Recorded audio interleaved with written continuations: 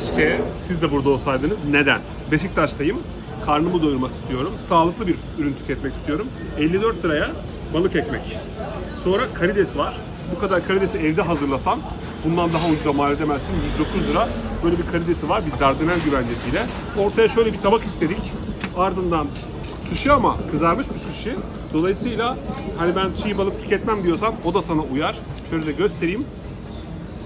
Keşke siz de burada olsaydınız. Fiyatları aşağı yazıyorum. Bana afiyet olsun.